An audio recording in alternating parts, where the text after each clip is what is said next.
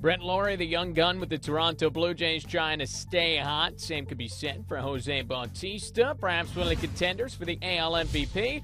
Top three, Royals ahead 1 0, and Billy Butler comes through with the base hit. His second RBI in the ballgame as Alex Gordon crosses the plate, and the Royals take the early 2 0 lead. But bottom four, it's that Joey Bats guy coming through for the Jays. Of course, it's to left field, an absolute bomb into the second deck. Number 37 for Bautista as he extends his major league lead in that category. We're all tied up at two. Later in the inning, a man on for Brett Lawrie. Driven toward the gap, and nobody's going to get this one. Encarnacion around second. He's headed for third. All the way to the wall. Lawrie on his way to third base, and the throw will not be made. Second triple for Lawrie gives the Jays a 3 2 lead. Top five, Alex Gordon. Yeah, he's going to hammer this baby to right field. That is getting out. Number 17 for Gordon.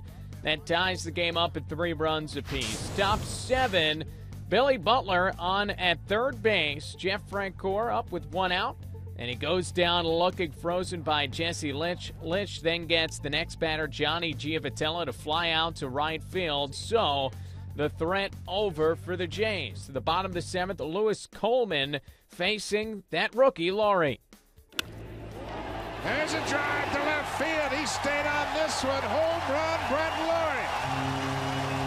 Number four for Lawrie. So just like that, the Jays take a 4 3 lead. To the ninth inning we go. A man on at second base with one down. Frank Francisco facing Eric Hosmer, and he gets the foul tip strikeout there. Then, very next batter, Jeff Francoeur hits it well to right field, but Jose Bautista has a beat on it, and the Jays hold on for a 4 3 win. Francisco earns his 11th save, and yeah, Adam Linden Lawrie can soak this one in. Jays pitching works around six walks, managing to strand 11 Royals runners on base. The Blue Jays win sets up a rubber game on Thursday.